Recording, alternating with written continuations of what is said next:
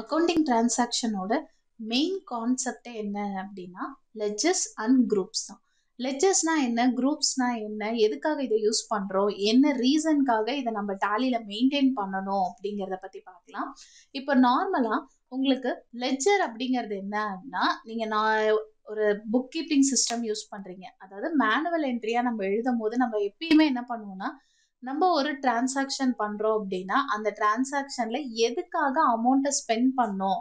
நம்மளோட ஆக்டிவிட்டி என்ன அப்படிங்கிறத நம்ம மெயின்டைன் பண்ணுவோம் இல்லைங்களா? அந்த நீங்கள் செலவு பண்ண ரீசனை தான் நம்ம என்ன சொல்கிறோம் அப்படின்னா லெஜர்ஸ் அப்படின்னு சொல்லி சொல்லுவோம்.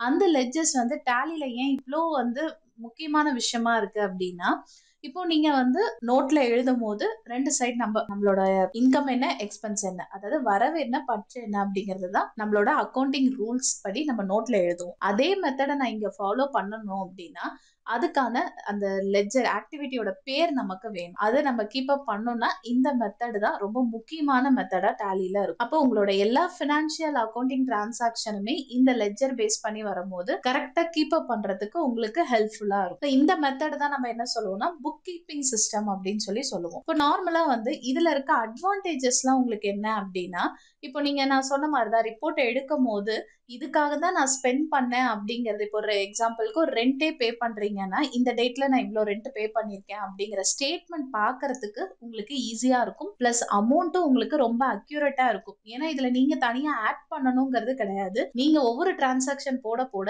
அந்த பர்டிகுலர் லெஜர்ல அமௌண்ட் வந்து இன்க்ரீஸ் ஆயிட்டே இருக்கும்.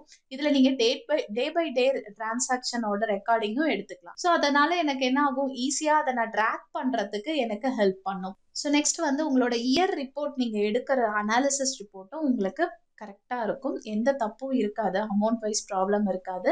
அதே போல் நீங்கள் ஒரு பர்டிகுலர் மந்த் ரிப்போர்ட் எடுக்கணும் அப்படின்னாலும் இதை யூஸ் பண்ணி இந்த மெத்தட் லெஜஸ் கீப்பிங் மெத்தடை யூஸ் பண்ணி நீங்கள் நார்மலாக எஃபிஷியன்ட் ரிப்போர்ட்டிங் ஒர்க்கும் உங்களுக்கு இருக்கும். அதே போல் உங்களுக்கு தேவையான கஸ்டமைசேஷனும் நீங்கள் பண்ணிக்கலாம். எனக்கு இந்த டேட்லேருந்து இந்த டேட் வரலும் இந்த லெஜரில் நான் எவ்வளோ பண்ணியிருக்கேன் அப்படிங்கிற ரிப்போர்ட்டிங் சிஸ்டம் எடுக்கிறதுக்கும் உங்களுக்கு இந்த மெத்தட் வந்து ஹெல்ப் பண்ணும். Next audit right easy combines அதாவது இது ரெண்டுமே எதுக்காகனா ஒரு டிரான்சாக்ஷன் நீங்க பண்றீங்கன்னா அந்த டிரான்சாக்ஷனை மென்ஷன் பண்றதுக்கான ஒரு கண்டினியூட்டி இப்போ ரெண்ட் பே பண்றீங்கன்னா அதை நீங்க மந்த்லி மந்த்லி கூட தான் ரெண்ட் பே பண்ணுவீங்க. அப்போ ஒன்ஸ் நான் அந்த லெஜரை கிரியேட் பண்ணிட்டேன் அப்படின்னா நான் அந்த ஃபினான்ஷியல் இயர் ஃபுல்லாகவே அந்த ஒரு லெஜரை யூஸ் பண்ணியே நான் என்ன பண்ணலாம்? இந்த டேட்ல இவ்வளோ அமௌண்ட் நான் கட்டியிருக்கேங்கிற டீடைல் ரிப்போர்ட்டும் நம்ம யூஸ் பண்ணிக்கலாம். ஓகேங்களா? ஸோ அதுக்காக நம்ம இந்த லெஜர் கிரியேட் பண்ணுறது நமக்கு ரொம்ப ஹெல்ப்ஃபுல்லாக இருக்கும். சரிங்களா? இதுல நமக்கு எந்த அளவுக்கு அட்வான்டேஜஸ் இருக்கோ அதே போல டிஸ்அட்வான்டேஜஸும் இருக்கு. என்னென்ன டிஸ்அட்வான்டேஜஸ் உங்களுக்கு வரும்னா நீங்க சம்டைம்ஸ் வந்து டேட்டா என்ட்ரி பண்ணும் போது தப்பா பண்ண வாய்ப்பு இருக்கு. ஓகேங்களா? ஏன்னா கிரியேட் பண்ண லெஜரே திரும்ப கிரியேட் பண்ணவும் நமக்கு வாய்ப்பு இருக்கு. ஈவன் நீங்க வந்து மல்டி இன்டர்ஃபேஸ் யூஸ் பண்ணும்போது சேம் லெஜரை நீங்க ஒரு லெஜர் கிரியேட் பண்ணிருப்பீங்க. அதே போல இன்னொருத்தங்க என்ன பண்ணுவாங்க நெக்ஸ்ட் லெவல் யூஸ் பண்றவங்க அவங்களும் திரும்ப அந்த லெஜரை கிரியேட் பண்ணி ஒர்க் பண்ணும்போது அமௌண்ட் லேக் ஆகிறதுக்கு நமக்கு வாய்ப்பு இருக்கு. ஓகேங்களா?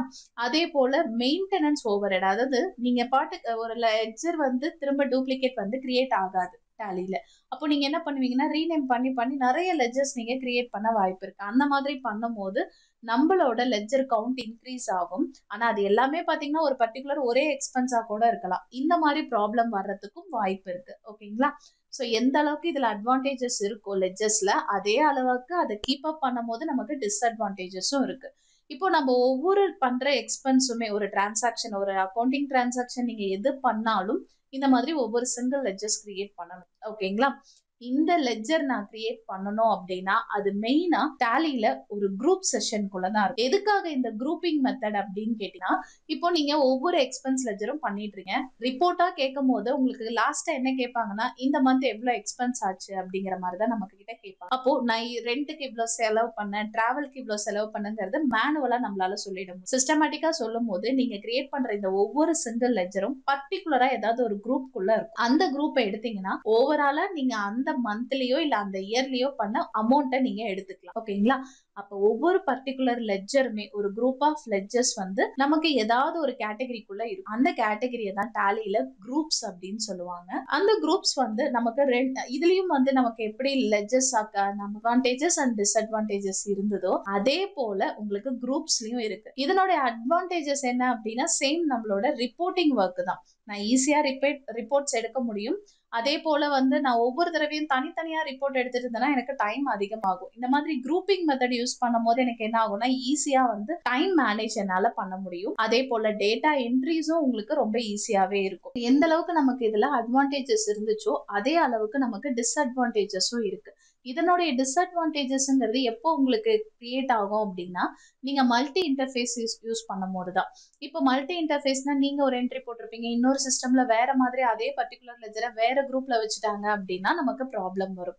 இந்த மாதிரி ப்ராப்ளமை ஃபேஸ் பண்ண வேண்டியது இருக்கும். இது மல்டி இன்டர்ஃபேஸ் யூஸ் பண்ணும்போது தான் உங்களுக்கு இந்த சேலஞ்சஸ் எல்லாமே இருக்கும். சரிங்களா? ஸோ குரூப்பிங் மெத்தடை பொறுத்தவரையிலும் நான் ரெண்டு விதமாக யூஸ் பண்ண போகிறோம் ஒன்று வந்து ப்ரைமரி குரூப் இன்னொன்று சப் குரூப்ஸ் ஸோ ஃபர்ஸ்ட் வந்து பிரைமரி குரூப்ஸ்னா என்னன்னு பார்க்கலாம். அதாவது இதுக்கான ப்ரியாரிட்டி ஃபர்ஸ்ட் ப்ரியாரிட்டியா இருக்கும். இப்போ நீங்க ஒரு நார்மல் ஃபினான்ஷியல் டிரான்சாக்ஷன் யூஸ் பண்ணும்போது இந்த மெயின் குரூப்ஸ் எல்லாமே உங்களுக்கு அஃபெக்ட் ஆகும். இந்த மெயின் குரூப்ஸும் ஒரு சில டிவிஷன்ஸை யூஸ் பண்ணும். அதை தான் என்ன சொல்லுவோம் அப்படின்னா மல்டி சப் குரூப்ஸ் அப்படின்னு சொல்லி சொல்லுவோம். சரிங்களா? இதுல எனக்கு வந்து ஒரு பர்டிகுலர் லெஜர் வந்து மெயின் கேட்டகரியில இருக்கு அப்படின்னா அந்த மெயின் கேட்டகரிக்கு அடுத்ததா வர்றது தான் சப் குரூப்ஸ்ன்னு சொல்லுவோம். இப்போ சப் குரூப்ஸ் அப்படிங்கிறது செகண்ட் ப்ரியாரிட்டியா இருக்கும். இது கம்பல்சரி ஏதாவது ஒரு மெயின் கேட்டகரிக்கு கீழே தான் இருக்கும். அதுதான் சப் குரூப்ஸ்ன்னு சொல்லுவோம். அதுக்காக இதை யூஸே பண்ண மாட்டோங்கிறது கிடையாது. ரெண்டு மெயின் குரூப்பும் சரி சப் குரூப்ஸும் சரி சேர்ந்து தான் உங்களோட ஃபினான்ஷியல் ஸ்டேட்மெண்ட்டாக இருக்கும். இதில் ஃபர்ஸ்ட் வந்து ப்ரைமரி குரூப்ஸ்லாம் என்னென்ன அப்படின்னு பார்த்தீங்கன்னா ஃபர்ஸ்ட் வந்து கேபிட்டல் அக்கௌண்ட் ஸோ அதே போல் current asset current liability fixed asset investment loan liabilities suspense accounts branch and divisions sales purchase direct income indirect income direct expense indirect expense and miscellaneous expense இது எல்லாமே first priority குரூப்ஸாக இருக்கும். இது எல்லாமே உங்களுக்கு main குரூப்ஸாக இருக்கும். இந்த main groups ஒவ்வொன்றும் எந்தெந்த மாதிரியான லெஜர்ஸை அக்செப்ட் பண்ணி குரூப் பண்ணும் அப்படிங்கிறதையும் நம்ம பார்க்கலாம். அதுக்கு முன்னாடி சப் குரூப்ஸ் என்னென்ன அப்படிங்கிறத பார்த்துடலாம். சப் குரூப்ஸில் வந்து உங்களுக்கு reserve and surplus bank account cash in and deposit loan and advance stocking and sundry debtors duties and taxes provision creditors bank OD secure loan unsecure loan so இந்த groups எல்லாமே sub குரூப்ஸாக இருக்கும். இதுவும் உங்கள் financial டிரான்சாக்ஷனில் affect ஆகும். இதனுடைய affection வந்து கம்மியாக இருக்கும். அதனுடைய அஃபெக்ஷன் அதிகமாக இருக்கும் அப்படிங்கிறது கிடையாது. இது எல்லாமே அந்த மெயின் கேட்டகரிக்குள்ளே உங்களுக்கு வர மாதிரி இருக்கும். சரிங்களா? ஸோ ஃபர்ஸ்ட் வந்து பிரைமரி குரூப்ஸ்னா எது எதுக்காக எந்த மாதிரியான லெஜஸ் பிரைமரி குரூப்ஸில் வரும் அப்படிங்கிறத பார்க்கலாம். ஃபர்ஸ்ட் வந்து கேபிட்டல் அக்கௌண்ட் அதாவது கேபிட்டல் அக்கௌண்ட் அப்படின்னா உங்களோட ஃபர்ஸ்ட் இன்வெஸ்ட்மெண்ட் ஈக்விட்டி அப்படின்னு சொல்லுவோம். அதுதான் வந்து என்ன சொல்லியிருப்பாங்க அப்படின்னா ரிசர்வ் அண்ட் சர்ப்ளஸ் அதாவது நீங்க உங்க கம்பெனிக்காக ஸ்பெண்ட் பண்ற ஃபர்ஸ்ட் அமௌண்ட் இந்த அக்கௌண்ட் எப்பயுமே உங்களுக்கு எந்த பக்கம் இருக்கும் அப்படின்னு பாத்தீங்கன்னா இதனுடைய நேச்சர் கிரெடிட் சைடு இருக்கும். அடுத்தது வந்து கரண்ட் அசெட் கரண்ட் அசெட் அப்படிங்கிறது உங்க கம்பெனி ரிலேட்டடா இல்ல உங்க பிசினஸ் ரிலேட்டடா நீங்க பண்ண ஒரு ஒர்க்குக்கு வர வேண்டிய பேமெண்ட் வந்து இன்னும் வராம உங்களுக்கு நிறுத்தி வச்சிருக்கிறது. உங்களோட பேமெண்ட் வேற ஒருத்தர்கிட்ட இருக்கிறது தான் என்ன சொல்லுவோம்னா கரண்ட் அசெட் குரூப்ஸ்ல வரும். அந்த மாதிரி எந்த லெஜர் வந்தாலும் கரண்ட் அசெட்ல இருக்கும். இன்னும் உங்களுக்கு அமௌண்ட் வரல ஆனா வரணும் அப்படிங்கிறது. இதே கரண்ட் லயபிலிட்டிங்கிறது நீங்க ஒரு பிஸ்னஸ் பீரியட்ல ஒரு அதர் தேர்ட் பார்ட்டிக்கு கொடுக்க வேண்டிய அமௌண்ட் கொடுக்காம இன்னும் நீங்க நிறுத்தி வச்சிருக்கீங்க அப்படின்னா அது கரண்ட் லயபிலிட்டியில இருக்கும். இப்போ அசட் வந்து உங்களுக்கு நார்மலா டெபிட் சைடு அதனுடைய நேச்சர் இருக்கும். லயபிலிட்டி வந்து உங்களுக்கு கிரெடிட் சைட் நேச்சரில் இருக்கும். இந்த மூணு குரூப்பும் உங்களுக்கு மஸ்ட் டிரான்சாக்ஷன் போடும் போது அது வந்து ஃபிக்ஸ்ட் அசெட் ஃபிக்ஸ்ட் அசெட் பொறுத்தவரையிலும் அசெட் அப்படின்னாலே நம்ம சொத்து அப்படின்னு சொல்லி சொல்லுவோம். நீங்கள் வாங்குற எந்த ஒரு சொத்தாவும் இருக்கலாம். ஒரு நார்மல் சேர்ஸ்லேருந்து ஸ்டார்ட் பண்ணி நீங்கள் வாங்குற லேண்ட் வரலும் அது உங்களோட அசெட் தான். இந்த அசெட் வந்து ரெண்டு விதமாக நம்ம மென்ஷன் பண்ணுவோம். ஒன்று வந்து டேங்கபிள் அசெட் இன்னொன்று வந்து இன்டேங்கபிள் அசெட் அப்படின்னு சொல்லுவோம். அதாவது உங்களுக்கு இதெல்லாம் எக்ஸிஸ்டன்ஸ் இருக்குது அப்படின்னா அது டேங்கபிள் அசெட் அதாவது மிஷின் பில்டிங் இல்லை ஃபர்னிச்சர் இந்த மாதிரி அதாவது அசையும் சொத்து அசையா சொத்துன்னு சொல்லுவாங்க இல்லையா? அதை தான் வந்து டேங்கபிள் அண்ட் இன்டேங்கபிள் அப்படின்னு சொல்கிறோம் நீங்கள் வாங்குற எல்லா திங்ஸுமே கம்பெனிக்காக வாங்குற சேர்ஸ்லேருந்து கம்ப்யூட்டர்ஸ் வரலும் லேண்ட் வரலும் எல்லாமே உங்களோட டேங்கபிள் அசெட்டாக இருக்கும். இதுல இன்டேங்கபிள் அசெட் அப்படிங்கிறது என்னன்னா உங்க கம்பெனிக்காக நீங்க பண்ற பிசிக்கல் எக்ஸிஸ்டன்ட் இல்லாம இருக்கும். அதாவது ட்ரேட்மார்க்ஸ் சொல்லலாம். நீங்க வாங்குற கவர்மெண்ட் ரெஜிஸ்ட்ரேஷன் உங்களோட காப்பி ரைட்ஸ் இந்த மாதிரி வர ஸ்டேட்மெண்ட் எல்லாமே வந்து உங்களுக்கு இன்டேங்கபிள் அசெட்டா இருக்கும். அதுக்காக இன்டாங்கபிள்ங்கிறது குரூப் கிடையாது. ஃபிக்ஸ்டு அசட்டு தான். ஃபிக்ஸ்டு அசட்டையே நம்ம ரெண்டாக பிரிச்சு நெக்ஸ்ட் வந்து இன்வெஸ்ட்மெண்ட் இன்வெஸ்ட்மெண்ட் அப்படின்றது நீங்கள் வந்து ஷேர்ஸ்லையோ இல்லை லேண்டு கோல்டு இந்த மாதிரி உங்களோட கம்பெனி பேர்ல நீங்க அமௌண்ட் ஸ்பெண்ட் பண்றது தான் இன்வெஸ்ட்மெண்ட் அப்படின்னு சொல்லி சொல்லுவோம்.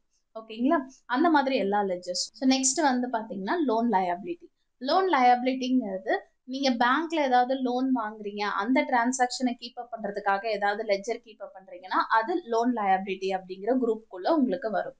நெக்ஸ்ட் வந்து சஸ்பென்ஸ் அக்கௌண்ட் சஸ்பென்ஸ் அக்கௌண்ட் அப்படிங்கிறது உங்களால ட்ராக் பண்ண முடியாத பெய்டு அமௌண்ட்டா இருக்கலாம்.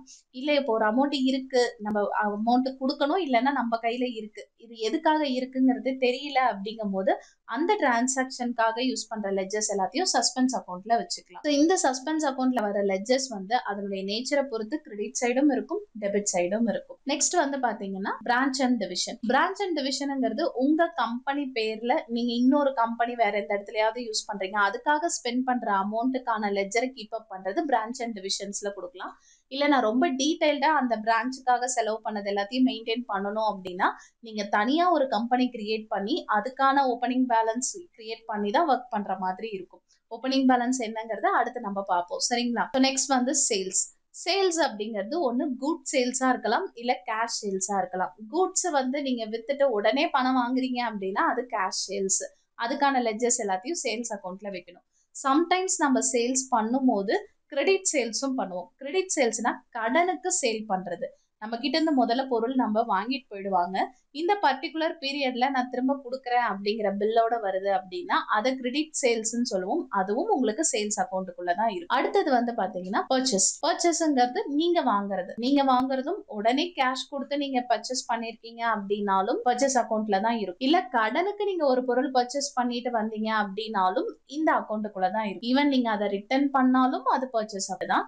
ரிட்டர்ன் பண்ற நேச்சரை பொறுத்து இதனுடைய கிரெடிட் அண்ட் டெபிட் நேச்சர் மாறும். பர்ச்சேஸ் வந்து நார்மலா உங்களுக்கு டெபிட் சைடு இருக்கும். ரிட்டர்ன் ஆகும்போது அது கிரெடிட்டுக்கு உங்களுக்கு மாறும். டைரக்ட் இன்கம் டைரக்ட் இன்கம் அப்படிங்கிறது இப்போ நீங்க வந்து ஒரு பொருளோ இல்ல பணமோ சேல் பண்ணும்போது தான் இன்கம் வருங்கிறது கிடையாது. அப்படி இல்லாம சர்வீசிங் கம்பெனிஸும் இருக்கு ப்ரொஃபஷனல் கம்பெனிஸும் இருக்காங்க. அதாவது எஜுகேஷன் ரிலேட்டடா இருக்க கம்பெனிஸ்க்கு வந்து பாத்தீங்கன்னா கூட்ஸ் இந்த மாதிரி சேல்ஸ் பண்ணி இன்கம் வரதுக்கு கிடையாது. ஃபீஸ் வாங்குறாங்க இல்ல இந்த மாதிரி அவங்களுக்கு வர இன்கம் எல்லாத்தையும் மெயின்டைன் பண்றது வந்து டைரக்ட் இன்கம் அப்படின்னு சொல்லுவோம். ஸோ நெக்ஸ்ட் வந்து இன்டைரக்ட் இன்கம் இன்டைரக்ட் இன்கம் அப்படிங்கிறது உங்களோட கம்பெனில உங்களுக்கு வர எல்லா இன்கமுமே கம்பெனில இருந்துக்காக வெளியில இருந்து வர எல்லா கான்ஷனுமே வந்து உங்களுக்கு இன்டைரக்ட் இன்கமா தான் இருக்கும். ஈவன் நீங்க பண்ற டிஸ்கவுண்ட் ரிசீவ் பண்றீங்க இன்ட்ரெஸ்ட் ரிசீவ் பண்றீங்க இந்த மாதிரி எந்த பர்டிகுலர் லெஜர் நீங்க கிரியேட் பண்ணாலும் அதே இன்டைரக்ட் இன்கம்குள்ள உங்களுக்கு இருக்கும். அடுத்தது டைரக்ட் எக்ஸ்பென்ஸ் டைரக்ட் எக்ஸ்பென்ஸ் அப்படிங்கிறது ஒரு ப்ரொடக்ஷன் ஆக்டிவிட்டீஸ்லயோ இல்ல நீங்க ஒரு ப்ராஜெக்டா ஒர்க் பண்ணும் போதோ அந்த இடத்துல நடக்கிற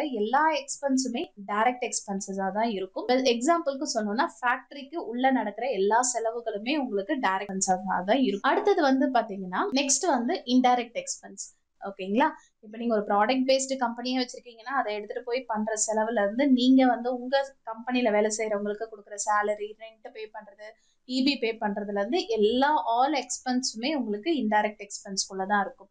அடுத்தது மிஸ்செல்னியஸ் எக்ஸ்பென்ஸ் மிஸ்செல்னியஸ் எக்ஸ்பென்ஸ் அப்படிங்கிறது உங்களோட கம்பெனியோட டெவலப்மெண்ட்டுக்காக நீங்கள் பண்ணுற செலவுகள் எல்லாமே. எக்ஸாம்பிளுக்கு அட்வர்டைஸ்மெண்ட் செலவு பண்ணுறது இந்த மாதிரி டிரான்சாக்ஷனுக்காக ஒரு லெஜர் கிரியேட் பண்ணுறீங்கன்னா மிஸ்செல்னியஸ் எக்ஸ்பென்ஸில் இருக்கும் உங்களுக்கு. நார்மலாக எக்ஸ்பென்ஸ் அப்படின்னு வந்துச்சு அப்படின்னாலே உங்களுக்கு எல்லா எக்ஸ்பென்ஸுமே டெபிட் சைடில் தான் இருக்கும்.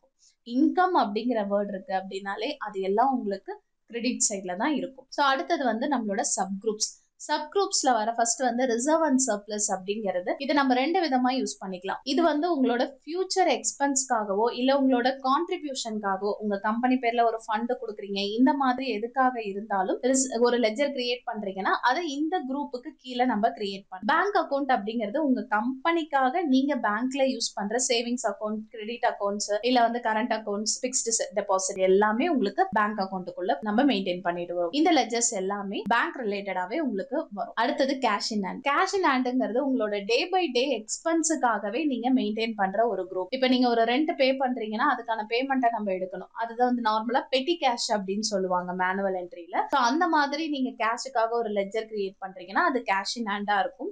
டாலியில உங்களுக்கு நார்மலா கேஷுங்கிற லெஜர் டிஃபால்ட்டாவே கிரியேட் ஆயிருக்கும். இல்ல நீங்க இன்னொரு தடவை வேற ஒரு அக்கௌண்ட்டுக்காக நான் கேஷ் கிரியேட் பண்றேன் அப்படின்னாலும் கிரியேட் பண்ணிக்கலாம். அடுத்தது டெபாசிட் டெபாசிட் அப்படிங்கிறது லாங் டேர்ம் இன்வெஸ்ட்மெண்ட் மாதிரி. நீங்கள் போடுற ஃபிக்ஸட் டெபாசிட் செக்யூரிட்டி டெபாசிட் இந்த மாதிரியான எல்லா லெட்ஜஸுமே உங்களுக்கு டெபாசிட் அப்படிங்கிற அக்கௌண்ட்குள்ள வரும். இந்த அமௌண்ட் வந்து லாங் டேர்ம் அமௌண்ட்டா இருக்கும் உங்களுக்கு. அடுத்தது லோன் அண்ட் அட்வான்ஸ் நீங்க வாங்குற எல்லா லோனுக்காகவும் ஒரு லெஜர் கிரியேட் பண்றீங்க அப்படின்னா அது இந்த குரூப்குள்ள வரும். எக்ஸாம்பிளுக்கு உங்களோட கம்பெனில நீங்க வாங்குற loan house loan car loan இந்த மாதிரி எல்லா லோன் லெஜர்ஸுமே உங்களுக்கு லோன் அண்ட் அட்வான்ஸ்குள்ள வரும். ஸ்டாக் இன் ஹேண்ட் அப்படிங்கிறது உங்ககிட்ட இருக்க இன்வென்ட்ரிஸ்க்காக இன்வென்ட்ரி மீன்ஸ் கூட்ஸுக்காக இந்த எல்லா கூட்ஸுமே உங்களுக்கு ஸ்டாக் இன் ஹேண்டுக்குள்ள மெயின்டைன் பண்ணிட்டு வருவோம். ஸோ நெக்ஸ்ட் வந்து சன்ட்ரி டெப்டாஸ் சன்ட்ரி டெப்டாஸ் அப்படின்றவங்க உங்ககிட்ட இருந்து குட்ஸ் ஆர் சர்வீஸ் இது எல்லாமே பர்ச்சேஸ் பண்ணிட்டு போறவங்க. கேஷுக்காகவும் இருக்கலாம் இல்ல கடனுக்காகவும் இருக்கலாம். அந்த மாதிரி உங்ககிட்ட இருந்து பொருளோ பணமோ வாங்கிட்டு போற எல்லாருமே நமக்கு சன்ட்ரி டெப்டாஸா நம்ம மென்ஷன் பண்ணுவோம். இதனுடைய நேச்சர் எப்பயுமே உங்களுக்கு டெபிட் சைடு உங்களுக்கு. அடுத்தது சன்ட்ரி கிரெடிட்டாஸ் சன்ட்ரி கிரெடிட்டாஸ் அப்படிங்கிறவங்க உங்களுக்கு சேல் பண்றவங்க. நீங்க பொருளோ இல்ல பணமோ எது வேணாலும் அவங்க கிட்ட இருந்து நீங்க வாங்கியிருக்கலாம். அந்த மாதிரி நீங்க ஏதாவது வாங்கியிருக்கீங்க அப்படிங்கும் போது அந்த பர்டிகுலர் பர்சன்காக கிரியேட் பண்ற லெஜர் உங்களுக்கு சன்றி கிரெடிட்டாஸா இருக்கும். இந்த ரெண்டு குரூப்லயுமே ஒரு ஷார்ட் ஃபார்ம் ஞாபகம் வச்சுக்கணும்னா ஒரு பர்சனோட நேமா தான் இருக்கும். இல்ல ஒரு கம்பெனியோட பேரா இருக்கலாம். இந்த மாதிரி எதை மென்ஷன் பண்ணாலும் நல்லா ஞாபகம் வச்சுக்கோங்க. அவங்க கிட்ட நீங்க